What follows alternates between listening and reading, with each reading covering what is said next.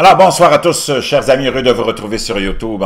C'est vendredi, vendredi soir, 21 juillet 2023, 23h36, heure du Québec. Merci d'être avec moi. Ceux qui sont abonnés, merci infiniment. Ceux qui ne le sont pas, faites-le maintenant. Et merci à ceux qui m'envoient des liens et des messages aussi. Vraiment très apprécié.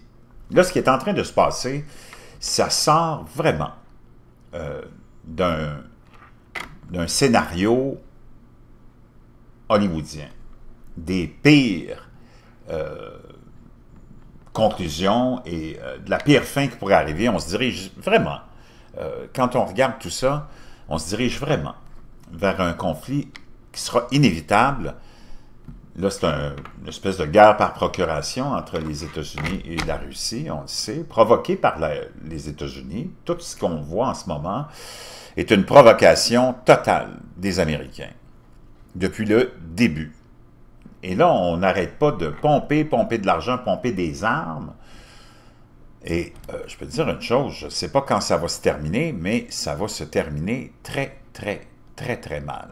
On va aller voir les dernières nouvelles les plus euh, effrayantes, OK? Et c'est quand même pas rien. Ça nous vient de Futurisme qui est rapporté par Yahoo, la Russie affirme que des patients infectés par des bactéries mortelles se sont échappés. Ça, c'était publié euh, hier en fin de soirée, tôt ce matin. Cela ressemble à une intrigue d'un trailer des maladies, maladies infectieuses. Et on est dans les plaines arides de Sibérie. Et euh,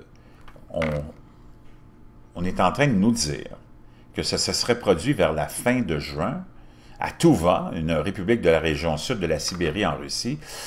Et la bactérie qui a rendu tout le monde malade est l'anthrax, selon TASS, une agence de presse russe gérée par l'État. Les médias euh, d'État russes sont connus pour publier des informations et de la propagande biaisée, comme tous les médias. Mais on ne sait pas pourquoi les autorités auraient à gagner en diffusant cette histoire-là, se demande euh, Futurism. Euh, en diffusant cette histoire d'une menace ratée pour la santé publique. il y a eu des cas d'anthrax enregistrés de manière indépendante dans l'arrière-pays russe, comme une épidémie en 2016, dans l'obscure péninsule de Yamal, dans le nord de la Sibérie, où des dizaines de personnes sont tombées malades et un enfant euh, est mort selon un rapport euh, de NPR à l'époque. Peut-être le plus pertinent, c'est que les chercheurs ont déclaré que les épidémies d'anthrax, comme en 2016, deviendront plus fréquentes à raison du réchauffement rapide des températures en Sibérie en raison du changement climatique. Les scientifiques pensent que l'augmentation des températures fait fondre le pergélisol et libère toutes sortes de bactéries et de virus mortels de leur prison glacée. Cet incident d'anthrax le plus récent s'est produit dans une ville appelée Biz... Euh, bon, pardonnez-moi la prononciation, là, où se trouve un campement de bergers où plus de 100 animaux non vaccinés étaient détenus euh, était gardé.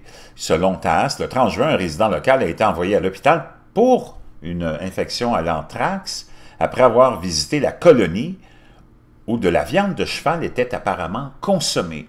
Et quatre autres personnes ont également été infectées. Les patients étaient censés rester hospitalisés jusqu'à ce qu'ils ne présentent plus aucun signe d'infection.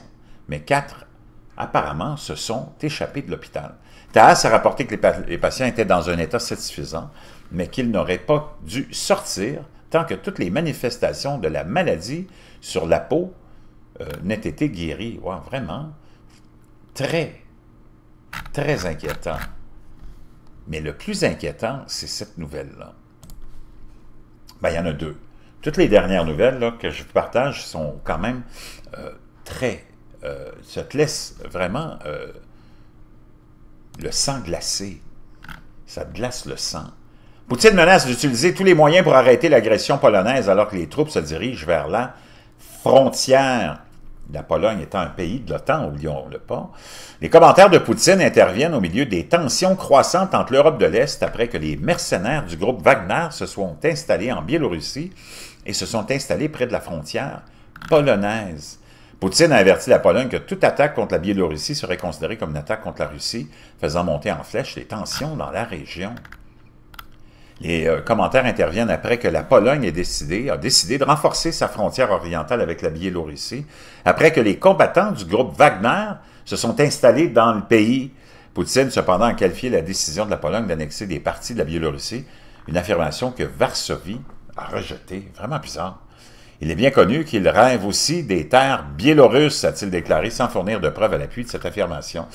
Le président russe a poursuivi en disant « Mais en ce qui concerne la Biélorussie, elle fait partie de l'État de l'Union avec la Russie.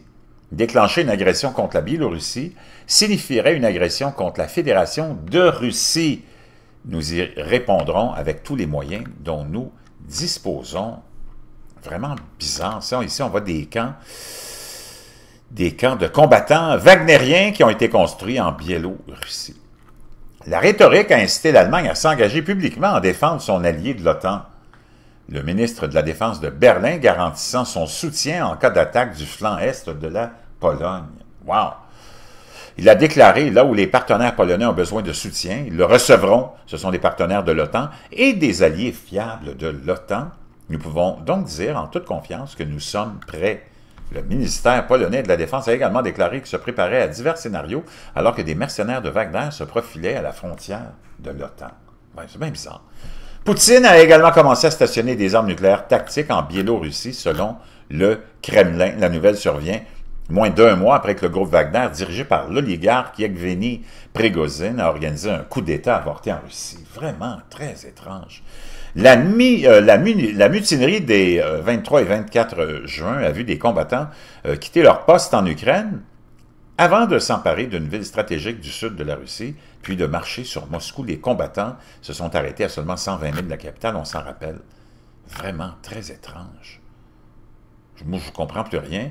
Cette semaine, une vidéo de Prégozine est apparue ordonnant à ses hommes de former l'armée biélorusse pendant qu'ils se préparaient pour des opérations de Wagner en Afrique. Vraiment très, très étrange. Et la nouvelle la plus euh, effrayante, c'est celle-là qui nous est rapportée par le Washington Examiner, qui nous dit que tout est en train de brûler. Les bombes à fragmentation que les Américains ont envoyées sont maintenant utilisées, commencent à être utilisées. On est rendu dans un univers complètement, wow, infernal. Des bombes à fragmentation pleuvent sur les troupes russes en Ukraine. Tout brûle, les armes à sous-munitions fournies par les États-Unis ont fait leur début sur les champs de bataille ukrainiens cette semaine, les commandants ukrainiens signalant qu'ils font une différence, ça fait une différence alors que les efforts se poursuivent pour percer les défenses russes. Wow!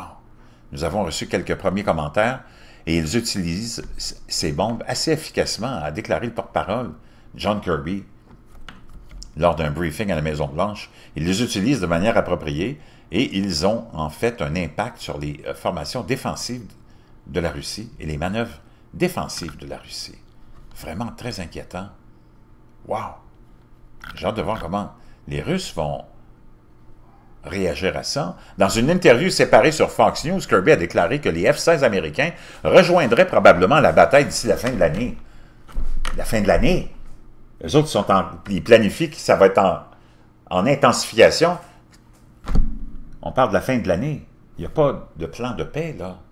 Mais rapidement ajouté, nous ne pensons pas que les F-16 suffiront à eux seuls à renverser la vapeur. branchez-vous. Ça va bien ou ça va pas bien? Là, ils nous disent qu'ils ne sont pas capables de renverser la vapeur, même avec les F-16 et les bombes à fragmentation. Wow! Ça va très, très mal. Je vous laisse ça dans la boîte de description. Chers amis, un été qui va probablement être l'été qui va marquer le début d'un conflit qui est inévitable, direct, un conflit direct entre les Russes et les États-Unis. Je vous laisse ça dans la boîte de description. Wow! Incroyable.